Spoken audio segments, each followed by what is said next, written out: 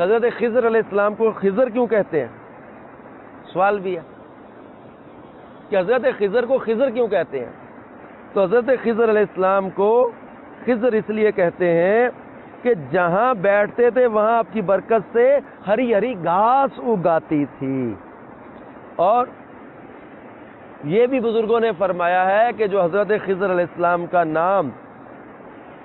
ان کے والد کے نام اور کنیت کے ساتھ یاد رکھے گا ان شاء کا خاتمہ ایمان پر ہوگا